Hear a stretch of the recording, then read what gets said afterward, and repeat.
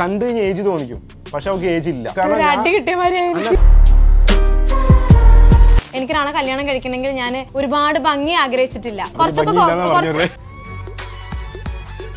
ജാതകം അങ്ങനെയൊക്കെ നോക്കുമ്പോ ചെറിയ ഇഷ്യൂസ് ഉണ്ട് അവർ അമ്മമാരല്ലേ അവർക്ക് ആ ഒരു കാര്യത്തിലൊക്കെ ഭയങ്കര വിശ്വാസമാണ്. അങ്ങനെ വിശ്വാസമേ ഇല്ല. അപ്പൊ നമ്മൾ വൈകി കല്യാണം കഴിക്കാനുള്ള ഒരു പ്രശ്നം ഞാൻ പറഞ്ഞുതരാം. ഒരുപാട് വൈകി കഴിഞ്ഞാൽ പെണ്ണും കിട്ടൂല ചെക്കനും കിട്ടൂല. നമ്മൾ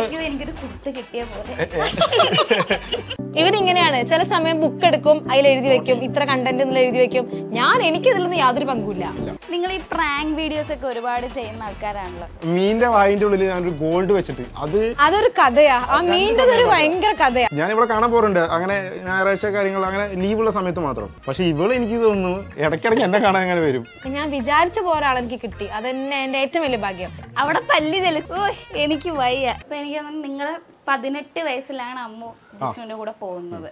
എന്തായിരുന്നു ആ ഒരു തീരുമാനത്തിലേക്ക് എത്താനുള്ളത്? നിങ്ങളുടെ ആ ഒരു ആ ഒരു സംഭവ ബഹുലമായ കഥ എന്ന് പറയും.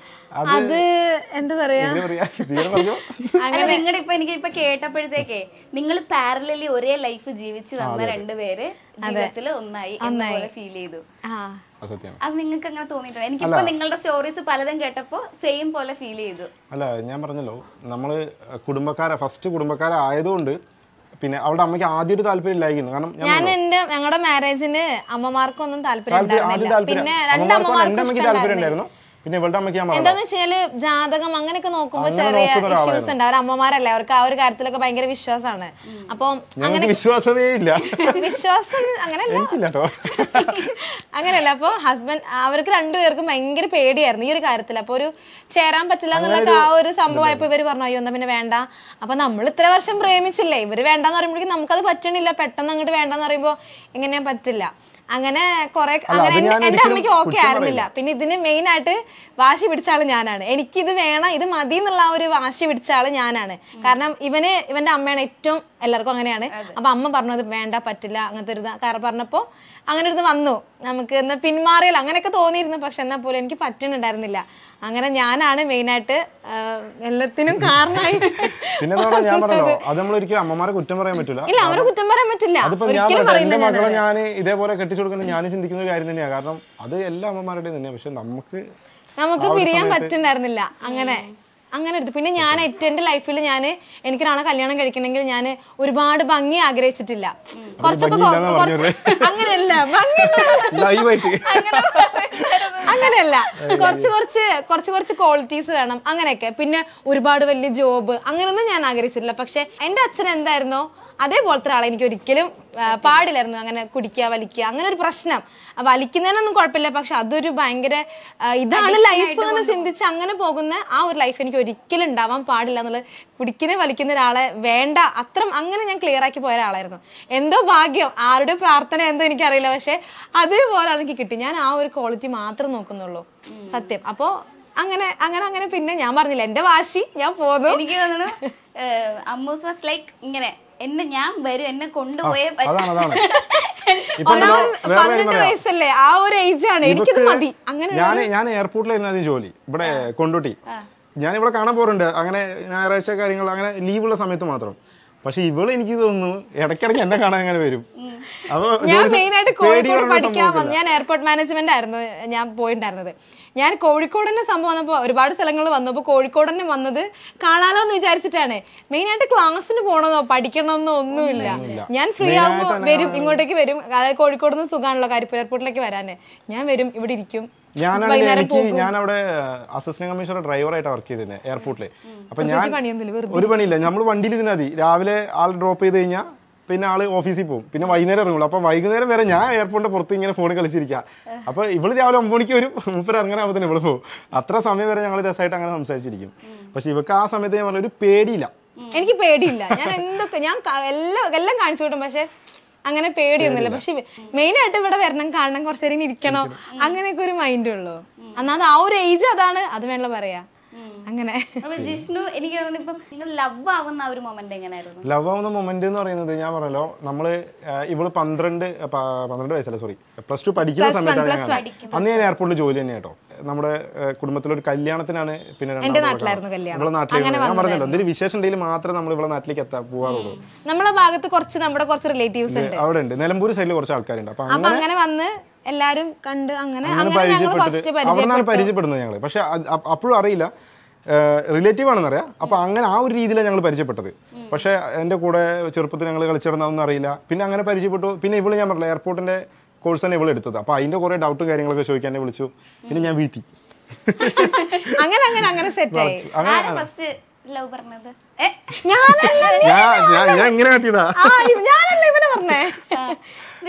പക്ഷെ അവൾ പെട്ടെന്ന് പറഞ്ഞു പിന്നെ അവൾ പറഞ്ഞു ആലോചിച്ച് പറയാറുണ്ടെങ്കിൽ ഒരാഴ്ച കൊണ്ടുപോകുന്നില്ല നീട്ടിയില്ലേ? ഒരാഴ്ചന്റെ അടുത്ത് എന്തോ നീട്ടി. പിന്നെ പറഞ്ഞു. ആ, ഒരാഴ്ചയൊക്കെ പിന്നെ പിന്നെ അത്രയൊന്നും പോയില്ല. അല്ല ഏറെക്കുറെ നമുക്ക് ആളെ മനസ്സിലായല്ലോ. പിന്നെ ഇപ്പൊ ഞാൻ ഒരുപാടൊന്നും ആലോചിച്ചില്ല. അല്ല എനിക്കൊന്നൊരു ആ. ഒരാഴ്ച. ഒരാഴ്ച. അതായത് പ്രപ്പോസ് ചെയ്ത ഒരാഴ്ച കഴിഞ്ഞപ്പോ ആൾ പിന്നെ പറഞ്ഞു. പിന്നെ അങ്ങനെ അന്ന് തൊട്ട് പിന്നെ ഞാൻ അടിപൊളിയായിട്ട് മുന്നോട്ട് പോകുന്നു ഇതുവരെ ഒരു പ്രശ്നം ഇതുവരെ ഒരു കുഴപ്പമില്ല. ഇനി അങ്ങോട്ട് പ്രശ്നം ഉണ്ടാവില്ല മനസ്സിലാക്കിയേ അതാണ്. പിന്നല്ല അതാണ്. കൈയടിച്ച് ഓക്കെ ലവ് ചെയ്ത് കല്യാണം കഴിക്കുന്നവരുടെ ലൈഫിൽ ഏറ്റവും വലിയൊരു മൊമെന്റ് ആയിരിക്കും കുഞ്ഞുവാവ ഉണ്ടാവുന്നത്. സീരിയസ് ആയിട്ട്. ഞങ്ങളുടെ ലൈഫിൽ ഞാൻ പറയട്ടെ ഞങ്ങളുടെ ലൈഫിൽ അത് ശരിക്കും പറഞ്ഞാൽ ഉള്ളൊരു സംഭവമാണെന്ന് അറിയില്ല. ഞങ്ങളുടെ മകൾ വന്നതിന് ശേഷം ഞങ്ങൾക്ക് ഭയങ്കര കാരണം ഞാൻ ഞങ്ങൾ പറയട്ടെ ഞങ്ങൾ യൂട്യൂബ് ചാനൽ തുടങ്ങിയെങ്കിലും തനു ഞങ്ങൾ സക്സസ് ആയത് മോൾ വന്നതിന് ശേഷം ഞങ്ങൾ വണ്ടി വാങ്ങി അവൾ വരുന്നതിന് മുന്നേക്കെ ഒരുപാട് ഞങ്ങളുടെ ലൈഫിൽ ഭയങ്കര കഷ്ടപ്പാട് ചാനൽ ഉണ്ടെങ്കിലും തന്നെ കുറച്ച് കഷ്ടപ്പാടായിരുന്നു. പക്ഷെ എന്താണെന്നറിയില്ല അവൾ വന്നതിനു ശേഷം ഇതുവരെ ചില ആൾക്കാർ പറഞ്ഞു പണ്ടുള്ള ആൾക്കാർ പറഞ്ഞിട്ടുണ്ട് ഈ പെൺകുട്ടികൾ ഉണ്ടായി കഴിഞ്ഞാൽ ചില ആൾക്കാർക്ക് അങ്ങനെ ഞാൻ ഞങ്ങൾക്ക് അങ്ങനെ ചിലത് കാണുന്ന വിശ്വാസമില്ലാത്ത ആൾക്കാരാണ് ഞങ്ങൾ രണ്ടുപേരും. ഞങ്ങൾ പക്ഷെ എന്താണെന്നറിയില്ല ഉണ്ടോ ഇപ്പൊ ഒരു ഡൗട്ട് ഞങ്ങൾ വിശ്വസിക്കാത്ത ഒരാൾക്കാരാണ് അങ്ങനെ ഞങ്ങൾ പറഞ്ഞല്ലോ ജാതകം എന്ന് പറയുന്ന സ്ഥാനത്തിലൊന്നും ഞങ്ങൾ അതിനെ വിശ്വസിക്കുന്നില്ല. പ്രത്യേകിച്ച് അങ്ങനെ അന്ധവിശ്വാസത്തിലൊന്നും തീരെ വിശ്വസിക്കുന്നില്ല. അപ്പോൾ അങ്ങനെ പക്ഷേ ഇങ്ങനെ പറഞ്ഞു കേട്ടിട്ടുണ്ട്. ഈ പെൺകുട്ടികൾ ചില ആൾക്കാർ പണ്ട് നിങ്ങൾക്ക് കേട്ടിട്ടുണ്ട് ഇപ്പൊ ഈ തമിഴ്നാട്ടിലൊക്കെ പെൺകുട്ടികൾ ഉണ്ടായി കഴിഞ്ഞാൽ കള്ളിപ്പാൽ എന്ന് പറഞ്ഞിട്ട് കൊടുത്ത് കുട്ടികളെ ഇതാക്കും. അങ്ങനെ അങ്ങനെ കുറെ സംഭവം ഉണ്ടാവും അപ്പൊ അത്രയും ആ ഒരു കാലത്തെ അത് ചിന്തിച്ചിട്ടുണ്ട്. ഏത്? പെൺകുട്ടികൾ അങ്ങനെ ഒരു ദോഷം അങ്ങനെ ചിന്തിക്കുന്ന ആൾക്കാർ പണ്ടുണ്ട്. പക്ഷെ അങ്ങനെ ഒരിക്കലും അങ്ങനെയല്ല കേട്ടോ. എല്ലാവരും മനുഷ്യരാണ്. പക്ഷെ എന്താ അറിയില്ല. ഞങ്ങളുടെ മക്കൾ വന്നതിന് ശേഷം ഭയങ്കര ഭാഗ്യം. അപ്പോൾ ആലോചിച്ചു ഇങ്ങനെ ഒരു സംഭവം ഉണ്ടാവോ? പൊതുവെ നിങ്ങളുടെ ഏജിലുള്ള ആളുകളൊക്കെ ഇപ്പൊ മാരീഡ് പോലും അല്ലാത്ത ആളുകളാണ്. ആളുകൾ അപ്പം ഒരു പാരന്റ്സ് ഒക്കെ ആയിട്ട് ഇത്ര യങ് ഏജിൽ നിൽക്കുന്ന ആ ഒരു വൈബ് സത്യം പറഞ്ഞാൽ ഞങ്ങളെ സംബന്ധിച്ച് ആദ്യമൊക്കെ ഭയങ്കര പേടിയായിരുന്നു. അയ്യോ നമ്മൾ ശരിക്കും എൻജോയ് ചെയ്യേണ്ട ടൈമാണല്ലോ ഇത്രയും ചെറുപ്പത്തിൽ മാരേജ് കഴിഞ്ഞു.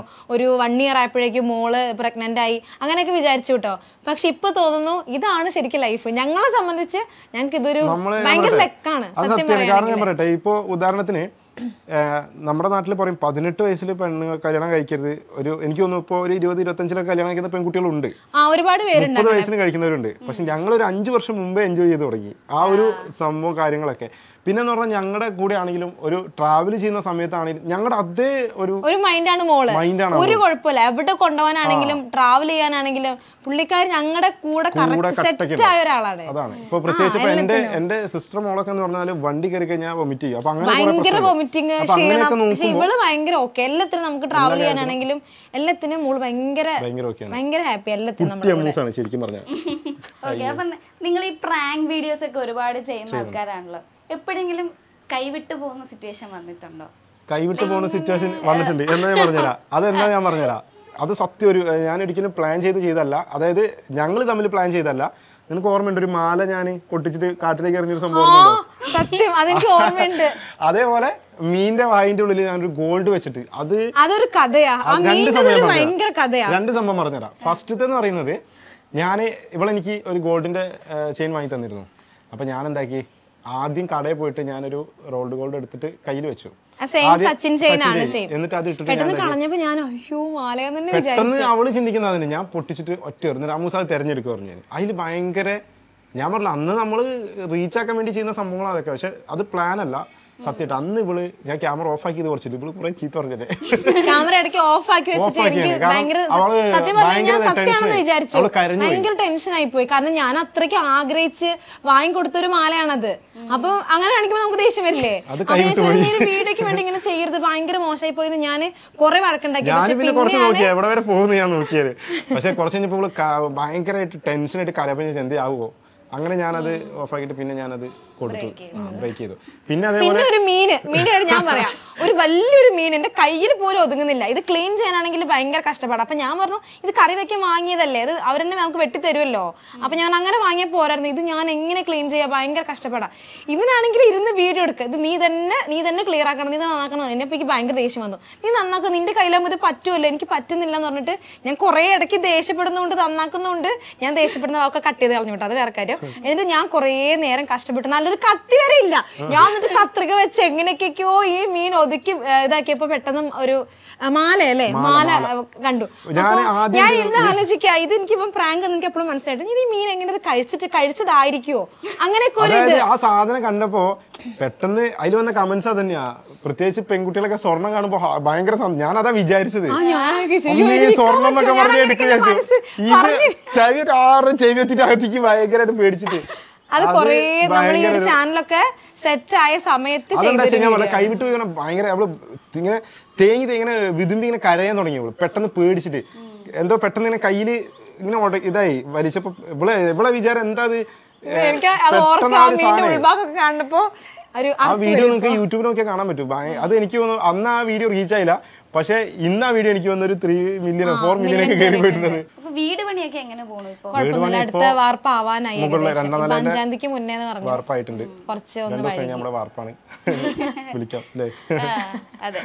എല്ലാരും അതെ അതെ വിളിക്കാം. ഹൗസ് വാമിങ് എന്തായാലും വിളിക്കാം?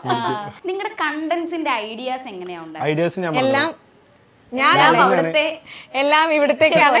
അല്ല ഞാൻ പറഞ്ഞു അവളുടെ അവൾക്കൊരു ചാനലുണ്ട് എന്റെ ചാനൽ പോലെ തന്നെ അവർക്ക് ഏകദേശം ഒരു ആറ് ലക്ഷം ഫോളോവേഴ്സ് ഉള്ള ചാനലുണ്ട് അത് ഞാൻ ഉണ്ടാക്കി കൊടുത്താട്ടോ. പക്ഷെ അത് ഞാൻ പറഞ്ഞു നമ്മുടെ ഫേസ് എല്ലാവരും അറിഞ്ഞതുകൊണ്ട് എനിക്ക് വൺ മന്ത് വൺ മന്ത് കൊണ്ട് എനിക്ക് ഒരു രണ്ട് ലക്ഷം വ്യൂസ് അല്ല സബ് ആയിട്ടുണ്ട്. അപ്പൊ അങ്ങനെ കുറച്ച് ഉപകാരങ്ങൾ അവർക്ക് കിട്ടി ഇവർക്ക് കിട്ടിയിട്ടുണ്ട്. ഇത് ഈ ഫേസ് ഇങ്ങനെ ആൾക്കാർ അറിഞ്ഞതുകൊണ്ട്.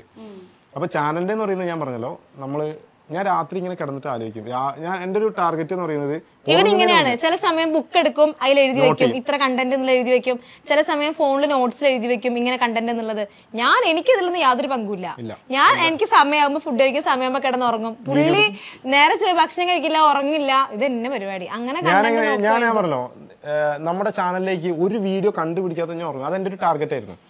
രാത്രി കിടന്ന് ഞാൻ നോട്ട് നമ്മുടെ ഈ ഫോണിൽ ഉണ്ടാവില്ല നോട്ട്സ് അതിൽ ഞാൻ നോട്ട് ചെയ്ത് വയ്ക്കും അത് ചിലപ്പോൾ ഒരു കണ്ടന്റ് ആവില്ല കേട്ടോ. ഞാനിങ്ങനെ ഇവക്ക് ഇന്ന് എന്ത് പണി കൊടുക്കാം? അങ്ങനെ ആലോചിക്കും.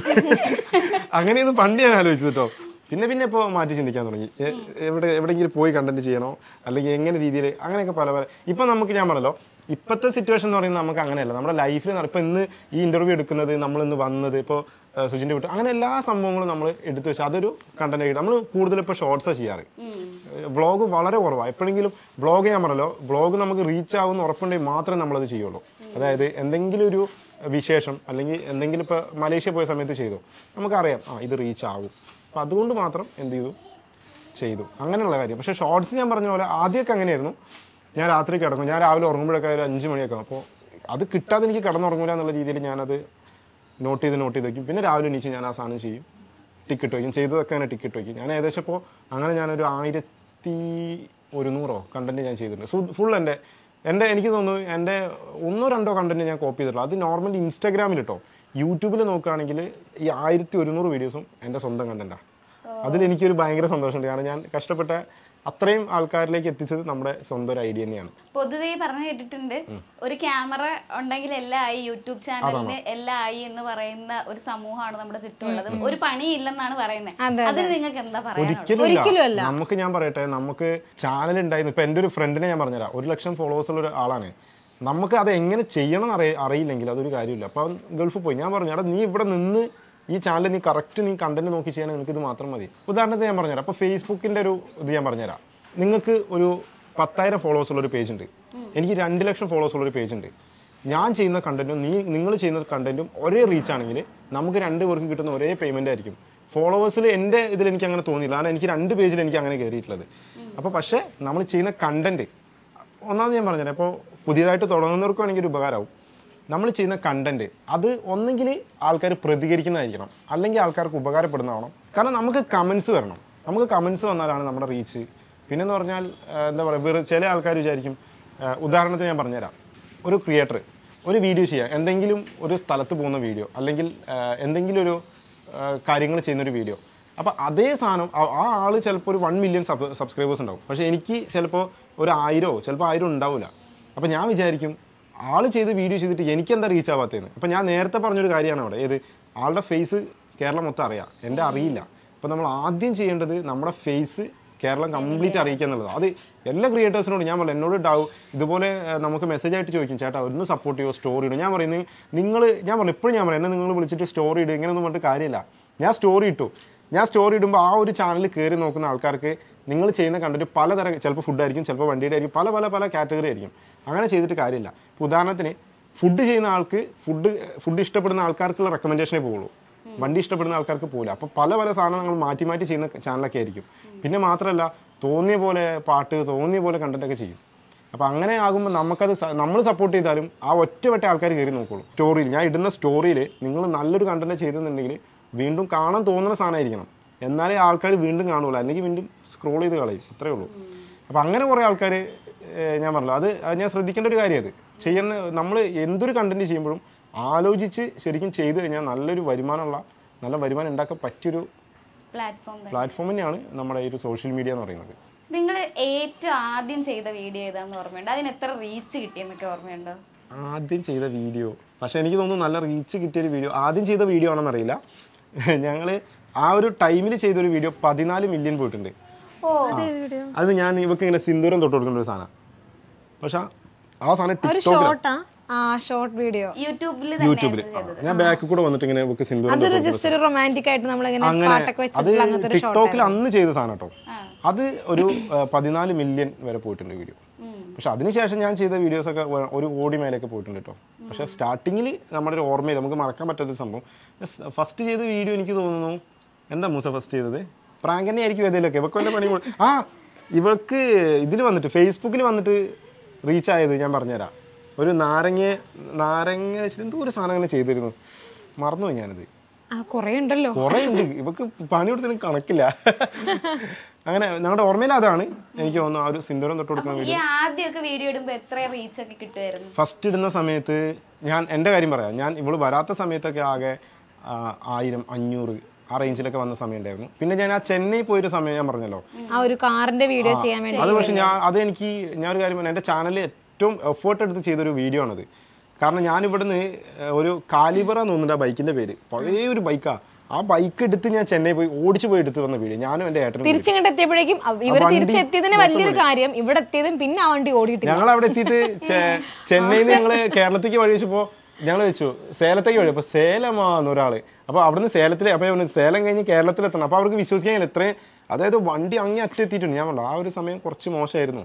അപ്പൊ ആ ഒരു സമയത്ത് തന്നെ ഞാൻ ബൈക്ക് എടുത്ത് ചെന്നൈ പോയി അങ്ങനെ പോകുന്ന വഴിക്ക് വീഡിയോ ശരിക്കും ട്രെയിൻ പോയാൽ മതിയെന്ന് പക്ഷേ പോകുന്ന വഴിക്ക് കുറേ വീഡിയോ ഒക്കെ എടുക്കാന്ന് വെച്ചിട്ട് അങ്ങനെ പോയത്.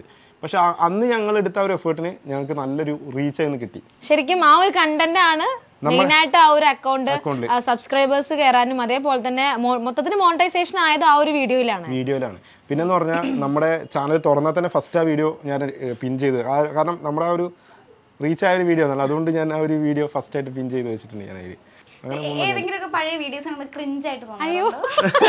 നമ്മുടെ ഒരു ഇത് കാണുമ്പോ നമ്മുടെ ഈ ഒരു അയ്യോ നമ്മളിങ്ങനെ ആയിരുന്നല്ലോ ഒരു വൺ ഇയർ മുന്നേക്ക് ഇതായിരുന്നല്ലോ നമ്മുടെ ലുക്ക് അങ്ങനെയൊക്കെ തോന്നിയിട്ടുണ്ട്. ഇതിപ്പോ ഞാൻ പറയട്ടെ ഇപ്പൊ ഈ വീഡിയോ ആണെങ്കിൽ പോലും നമ്മൾ രണ്ടു വർഷം എടുത്തു കഴിഞ്ഞാൽ എന്റെ താടി കാണുമ്പോൾ അയ്യോ ഇത് ഞാനാ. നമുക്ക് തോന്നുന്നു. ശരിയാണ് നമുക്ക്. അങ്ങനെ തോന്നി കുറേ വീഡിയോസ് ഉണ്ട്. കാരണം പ്രത്യേകിച്ച് ഞാൻ പറയട്ടെ ഞാൻ ഇവളോട് നിനക്ക് എങ്ങനെയാണ് എന്നെ ആ സമയത്തൊക്കെ പ്രേമിക്കാൻ തോന്നി ചോദിക്കും കാരണം എനിക്കെന്നെ കണ്ടിട്ടല്ലോ ആ ഒരു സമയത്ത്. അത് എന്നെ കണ്ടതിന് അസ്ഥി പോലെ. അതേപോലെ.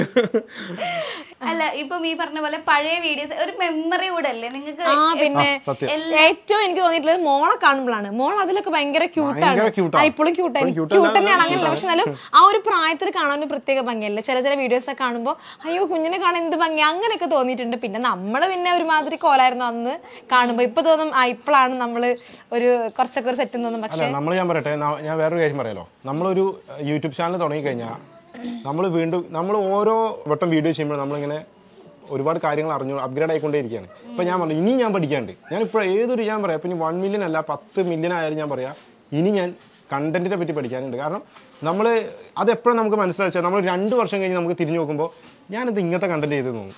സത്യമാണ് കാരണം നമുക്ക് ഞാൻ പണ്ട് ഞാൻ ചിന്തിക്കുന്നത് എന്താ പറയുക അടിപൊളി കണ്ടന്റാ പക്ഷെ അത് ഞാൻ ഇന്ന് നോക്കുമ്പോൾ എനിക്ക് തോന്നും അയ്യ ഇതൊക്കെ എന്ത് കണ്ടന്റാന്ന് അപ്പോൾ അത് ശരിക്കും പറഞ്ഞാൽ നമ്മളങ്ങനെ ചെയ്ത് ചെയ്ത് കുറച്ച് കഴിഞ്ഞ് തിരിഞ്ഞു നോക്കുമ്പോഴായിരിക്കും ഇതൊക്കെ തോന്നുന്നത് നമുക്ക്. ഇടയ്ക്കിടയ്ക്ക് ഗസ്റ്റ് അപ്പിയറൻസ്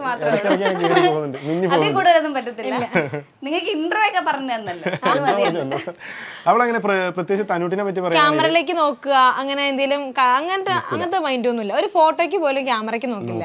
ഭയങ്കര ബുദ്ധിമുട്ടാണ് ഇപ്പൊ കുറച്ചൊക്കെ പിന്നെ കുഴപ്പമില്ല അല്ലേ? ആദ്യം തീരെ നിൽക്കൂല ആദ്യം ഇങ്ങനെ നിൽക്കും ക്യാമറ ക്യാമറയ്ക്ക് നോക്കുകയില്ല. പിന്നെ അതേപോലെ നിനക്കെന്നെ അറിയാലോ?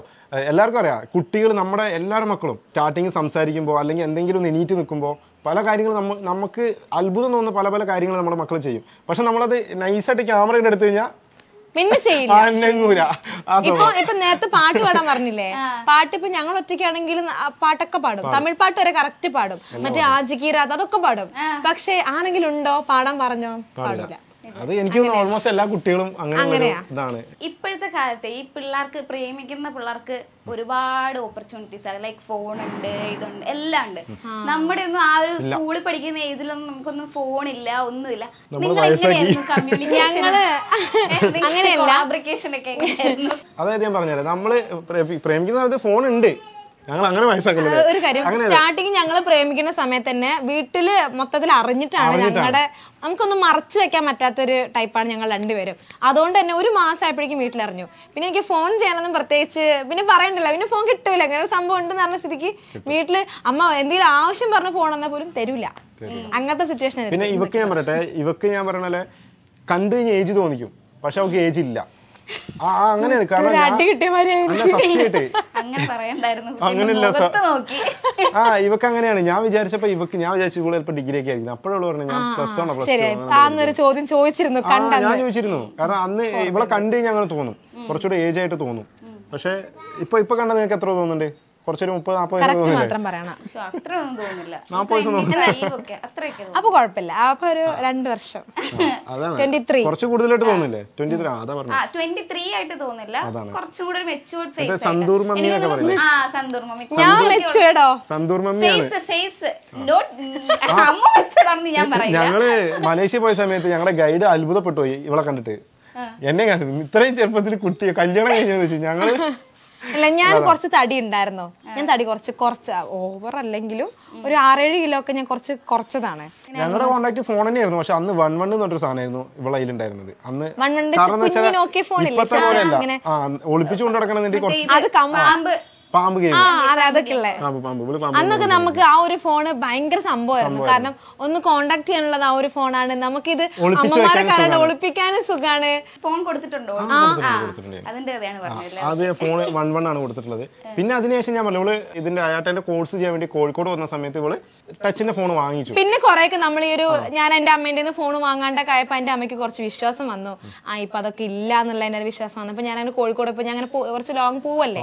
നമ്മളൊക്കെ നാട്ടിൽ നിന്ന് കുറച്ച് ലോങ് പോവല്ലേ? അപ്പൊ അമ്മ അമ്മ എനിക്ക് അങ്ങനെ ഫോണൊക്കെ വാങ്ങി തന്നു. ടച്ചിന്റെ ഫോണൊക്കെ വാങ്ങി തന്നു. അങ്ങനെ പിന്നെ എനിക്ക് സുഖമായി വിളിക്കാനായി കാണാനായി എല്ലാം സെറ്റായി. അടിപൊളി കേട്ടോ. രസമായിരുന്നു ആ ഒരു ആ ലൈഫ് നമ്മളോട് ചോദിച്ചാലും ഞാൻ പറയട്ടെ. നമ്മളോട് ചോദിച്ചാലും ലവ് മാരേജ് നമ്മൾ നല്ലതെന്ന് പറയും. ഞാൻ എന്റെ ഞാൻ ആദ്യം ആഗ്രഹിച്ചിരുന്നു. എനിക്ക് ഞാൻ കല്യാണം കഴിക്കുകയാണെങ്കിൽ എനിക്കൊരു ലവ് മാരേജ് തന്നെ ആവണം എന്നുള്ളൊരു ഒരു ആഗ്രഹമായിരുന്നു എന്തായാലും അത് ലവ് മാരേജ് എന്ന് വെച്ച് കഴിഞ്ഞാൽ ഞാൻ വിചാരിച്ച പോലെ ആളെനിക്ക് കിട്ടി. അതന്നെ എന്റെ ഏറ്റവും വലിയ ഭാഗ്യം. ഞാൻ എങ്ങനെയാണോ വിചാരിച്ചത് അതേപോലെ അതൊക്കെ മേലെന്ന് പറയല്ലേ ചിങ്കു? ചിങ്കു ആന്ന്. എനിക്ക് വയ്യ. ഞാൻ പോലെ ഉള്ള ആളെ കിട്ടിയെന്ന് പറഞ്ഞപ്പോ തന്നെ വല്യ അതെ.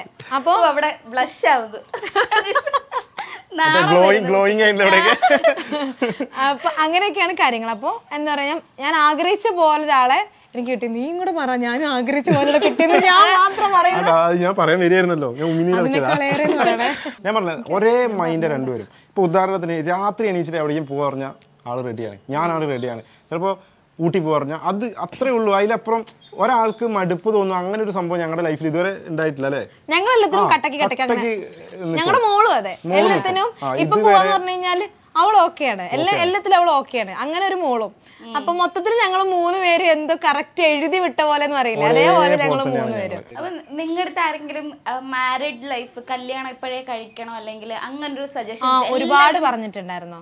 പക്ഷെ ഞാൻ പറയട്ടെ. അതുകൊണ്ട് ഞാൻ ഒരു നമ്മളിപ്പോ ഞങ്ങളെ സംബന്ധിച്ച് ഇരുപത്തിമൂന്ന് വയസ്സിൽ പതിനെട്ട് വയസ്സിലാണ് ഞങ്ങളുടെ രണ്ടുപേരുടെ മാരേജ് നമ്മുടെ ഈ ഒരു മാരേജ് ലൈഫ് ഞങ്ങൾക്ക് മുൻകൂട്ടി ഞങ്ങളുടെ കാര്യത്തിൽ. ഞങ്ങൾ ഇപ്പോഴും ഓവർ മെച്ചോർഡ് എന്നല്ല പറയണം. പക്ഷെ എന്നാലും കുറെയൊക്കെ ലൈഫ് നമുക്ക് നേരത്തെ പഠിക്കാൻ പറ്റും ഒരുപാട് കാര്യങ്ങൾ പക്ഷേ ഞങ്ങളെ സംബന്ധിച്ച് ഞങ്ങൾ ആ ഒരു ടൈമിൽ ഭയങ്കര ചെറിയ പ്രായമാണ് ഒരു കാര്യങ്ങളും അങ്ങനെ ഒന്നും അറിയണ്ടായിരുന്നില്ല.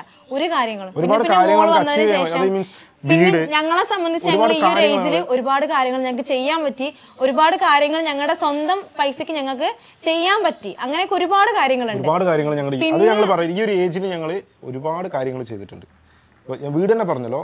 എനിക്ക് തോന്നുന്നു എന്റെ ഏജിൽ അങ്ങനെ ഞാൻ വീണ്ടും പറയാം പൊക്കി പറയല്ലോ പക്ഷേ എന്റെ കുടുംബത്തിൽ എന്റെ അറിയില്ല എന്റെ ഏജിൽ അങ്ങനെ ഒരു കടോ കാര്യങ്ങളോ ഒരാളുടെ നിന്ന് പൈസ കടം വാങ്ങിയില്ല എല്ലാം സ്വന്തമായിട്ട് ഞങ്ങളുടെ എഫേർട്ട് ഞാൻ പറഞ്ഞല്ലോ വീഡിയോ വഴി കിട്ടിയതാണെങ്കിലും ഞങ്ങൾ ഇപ്പം ഇപ്പം ഞാൻ മാത്രമല്ല അവളും ഞങ്ങൾ രണ്ടുപേരും എടുക്കുന്ന ഒരു എഫേർട്ട് തന്നെയാണത്.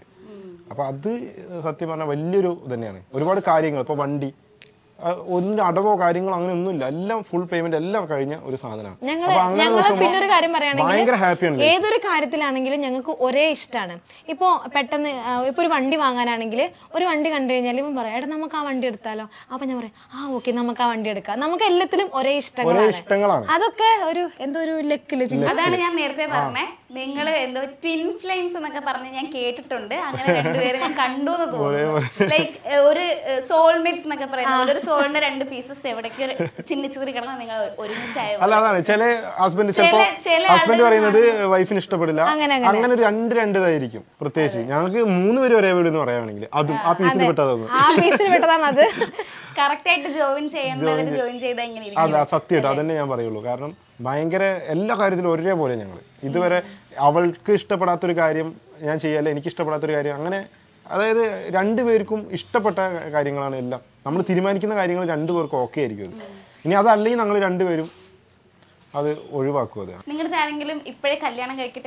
അതിന് സജഷൻ ചോദിച്ചു. ഞാൻ പറഞ്ഞുതരാം. പ്രത്യേകിച്ച് ഞാൻ പറയാം ലവ് മാരേജ് പറയുള്ളൂ.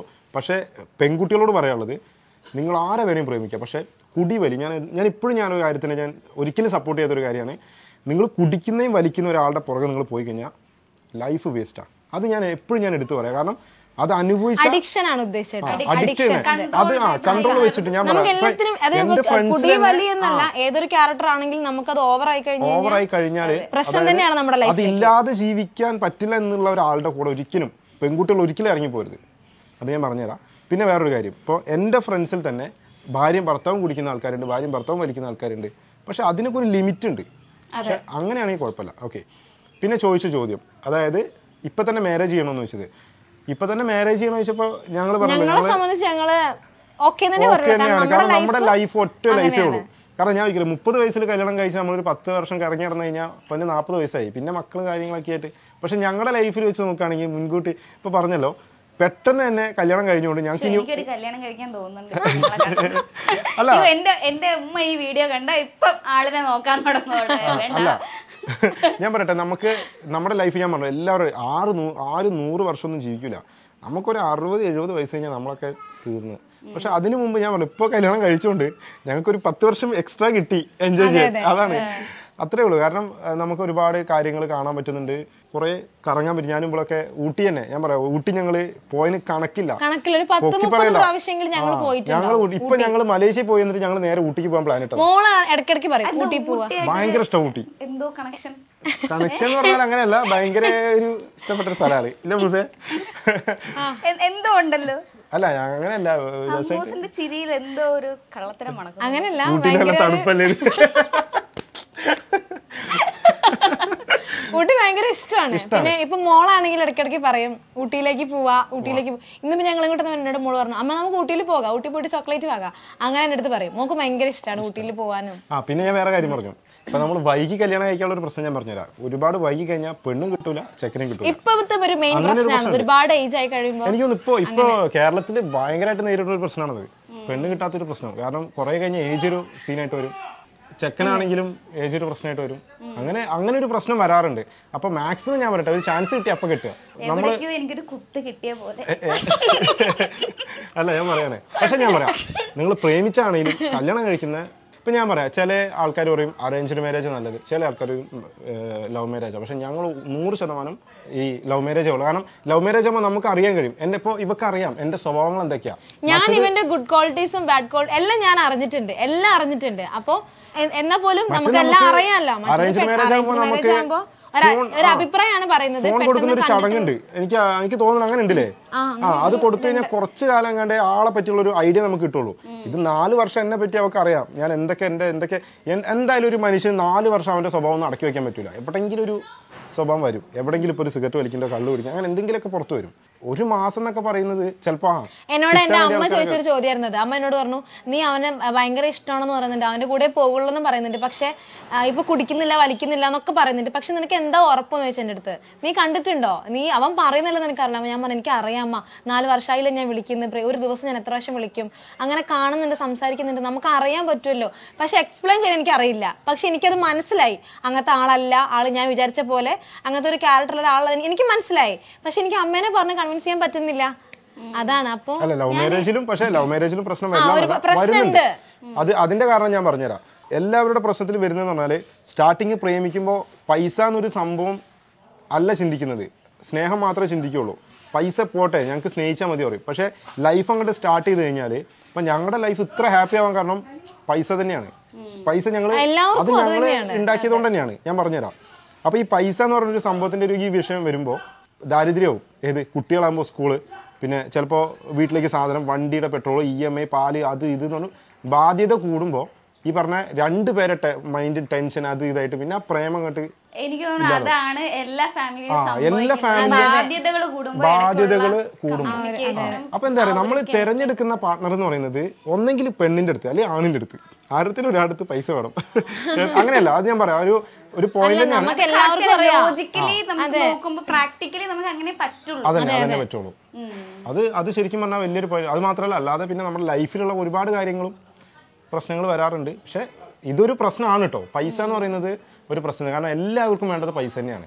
അപ്പോൾ ആദ്യം നമ്മൾ നോക്കുമ്പോൾ പൈസ ഉണ്ടാവും. പൈസയല്ല നമുക്ക് സ്നേഹം മതി പറയും. പക്ഷേ കുറേ കഴിയുമ്പോൾ അതൊരു പൈസ തന്നെ ഒരു പ്രശ്നമായിട്ട് അവസാനം വരും. വലിയൊരു വില്ലനാവും. കാരണം ഈ പറഞ്ഞ പോലെ തന്നെ അത് അത് ഇത്. പിന്നെ ടെൻഷനാവും. പൈസയ്ക്ക് വേണ്ടിയിട്ട് ഗൾഫിലേക്ക് പോകും. ഭർത്താവ് ഭാര്യ ഒറ്റയ്ക്കാവും. പിന്നെ അവരുടെ ഇടയിലുള്ള ഒരുപാട് കാര്യം അങ്ങനെ ഭയങ്കര പിന്നെ പിന്നെ പിന്നെ അതൊരു പ്രശ്നമായിട്ട് അങ്ങനെ വരും. അപ്പൊ എന്തായാലും നിങ്ങളുടെ ഈ ലവ് സ്റ്റോറി ഒക്കെ കേട്ട് ഞാൻ ഇങ്ങനെ ഇരിക്കും. ഇത്രയും സമയം നമ്മൾ കുറേ ടൈം. നിങ്ങളുടെ കഥ ഇങ്ങനെ കേട്ടിരിക്കായിരുന്നു. അപ്പൊ എന്തായാലും ഓൾ ദ വെരി ബെസ്റ്റ് നിങ്ങളുടെ ഫ്യൂച്ചറിന് നിങ്ങളുടെ ഇനി ഒരുപാട് വീഡിയോസ് അല്ലേ? എല്ലാ ദിവസവും നിങ്ങൾക്ക് വീഡിയോസ് ഒക്കെ ചെയ്ത് വൻ അടിപൊളിയായിട്ട് അടിപൊളി. എനിക്ക് ഏറ്റവും കൂടുതൽ ഇഷ്ടപ്പെട്ടത് നിങ്ങളുടെ ഇടയ്ക്കുള്ള ഈ സ്നേഹം എന്ന് ഇങ്ങനെ അപ്പൊ thank you so much thank you